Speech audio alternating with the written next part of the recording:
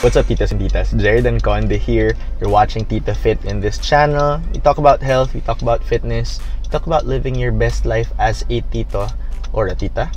And uh, if you like that kind of content, let's go, let's watch.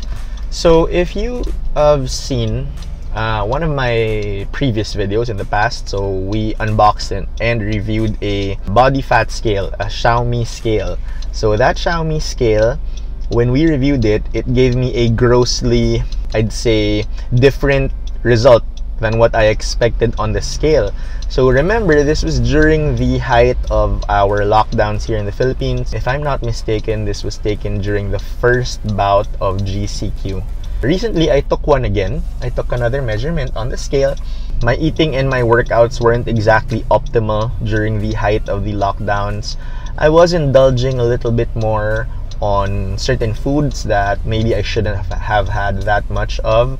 I was eating ice cream, I was eating chips, and uh, I was drinking uh, three or four times a week, but not that much. I wasn't drinking that much. I probably drink like a shot or two of whiskey a night, uh, maybe uh, once in a while, a uh, bottle of beer, but not not that much. So my diet wasn't exactly that great. On the other hand, my workouts weren't exactly that great either. Uh, as you remember, we also have uh, recorded some of those workouts for you guys, and they were mostly done with a hex dumbbell or dumbbells, and uh, the weights weren't that heavy. Of course, this was just the stuff I had at home. So when I took the measurement with the Xiaomi scale, I wasn't exactly optimistic about the results, but the body fat percentage reading was extremely like it, it blew my mind. You know, it was just insane. I think if I remember correctly, I got about got about 22 or 23 percent body fat and that's that's not very good 18 to 24 percent for men kind of puts you for most ages okay so there are different categories for different ages but for most ages uh, below the age of about 50 it will put you at an overweight category that means you're storing a little bit more fat than you should be storing so it put me in 22 to 23 percent, and that was uh, extremely alarming. I was a little bit alarmed. Did, did I let myself go that much? So as soon as gyms opened, we checked out first. We saw we checked out the safety protocols. If it was safe to go back to the gym, we did those videos for you guys. And uh, you know, eventually we realized that you know it's pretty safe. You know, the gyms are pretty safe. There's not not many people. Distancing is strictly observed. And best of all, we were able to compare the reading of the Xiaomi to an InBody. Now, they, they're both BIAs or bioelectrical impedance analyzers. So, in that sense, they should have a similar effect. But one costs 1,300 pesos and the other costs a quarter of a million pesos. So, why, right? If they're both, uh, if they both operate on the same type of uh, analysis, basically they an electric current goes from one end to the other. That's why they're metal plates. It measures how long that takes, depending on how much fat you're holding or how much water you have as well. That's how it estimates your um, your body fat percentage. Now, here's to say, um, a lot of people are gonna say, you know, they're not 100% accurate. Yes, they are not 100% accurate, but but but but but but they are more accurate than you think there is probably about up to a maximum of a 10% chance that they're off just by 10%. So they're not 90% accurate. Okay, 90% accurate. Now here's the thing though. What happened was I got 23% on the Xiaomi scale and then I took one again recently before taking one at the gym and wow so uh, the xiaomi sc- scale still gave me 22 point something percent if i'm not mistaken uh, I'll show you the reading of that. And then the InBody gave me 16%, 1-6%. That's a big difference. That's more than 6%. And guys, that's just insane. More than 6% body fat difference. So that's 16% to 22%. Wow, it, it was off by about 1.6, 1.6, 3.2, 3.2 plus 1.6 4.8 4.8 plus 1.6 5.8 it was off by about 40%. That's insane. Uh, 40% off. Yeah, that is just insane. 16% puts me in a fitness category still. So it still puts me in a fit category. So this is uh, uh, body fat percentage that's ideal for men up to the age of about 50. If you still want to be considered fit, would uh, put you at about 14% to 17%. Now, if you were uh, if you're a woman, the numbers will be different. We'll show you the charts for that. But yeah, you see what I'm getting at here. It, it, the Xiaomi scale is just really garbage. Okay, sorry Xiaomi, just telling the truth. It's just garbage. I'm not that fat. okay.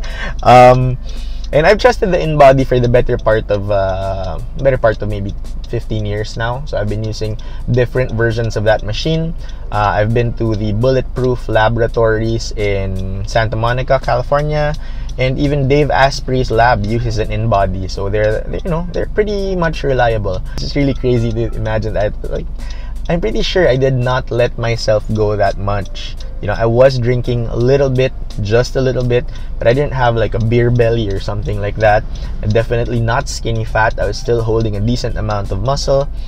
But yeah, that Xiaomi scale, if you're considering buying it, yeah, don't. It's just, yeah, you could spend your money on uh, on better things. That's gonna get you a a nice meal for two at a at a decent restaurant, you know, 1300 pesos. So maybe you wouldn't want to spend much money on that. But here's the thing.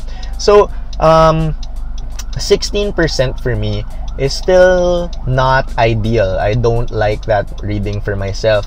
Normally, I did say that 14 to 17% is considered put in the fitness category, but I normally walk around at about 12 13% on normal days. And when I'm training for competitions, when I was still competing in uh, functional fitness and CrossFit events, I would actually go down to about 8 to 10% body fat. So that's a little, that's still, you know, still not so great for me.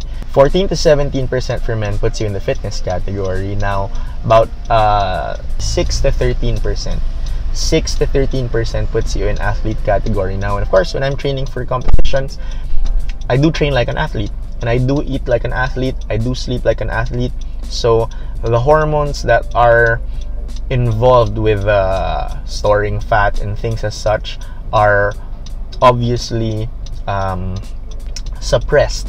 That's why uh, the body doesn't hold on to as much fat. But on on most normal days, you could go for either fitness or um, the higher end of that athlete spectrum, above 10%, and you could still look pretty good in your clothes. So here's the thing, I'm gonna challenge all you titos and titas if you wanna join me. So what I'm going to do is I'm gonna try to get fitter by Christmas. So comment down below if you want to be fitter by Christmas. Okay, so that once the holidays begin and a lot of the festivities start, a lot of these, uh, you know, these um, indulgent dinners and such and get-togethers happen, you'll be ready for it and not so not so big that by the time the new year's comes the new year 2021 comes uh, you don't have too much that you want to lose. So normally that's the problem. We put on a lot of weight uh, during christmas time from all the festivities from all the dinners from all the drinking and all that kind of thing.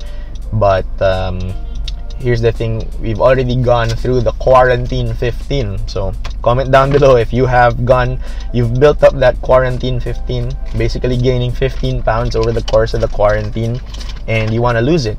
So if you want to lose it yeah definitely comment down below if you want to join fit by christmas. I'm gonna spice it up by giving a prize to the best best transformation okay? So that prize will be announced only to those who join. Uh, if you join of course you want to get an early start on it. It's now october yeah by the time this is posted it will be october 28th so that gives you exactly eight weeks until christmas. So if you get your body good by uh, by christmas you get to indulge a little bit more and by new year's you're not gonna have that big of a problem. So titas and titas join me fit by christmas okay Tito Fit by Christmas. There you are. Comment down below, Tito Fit by Christmas. And I will see you in the next one.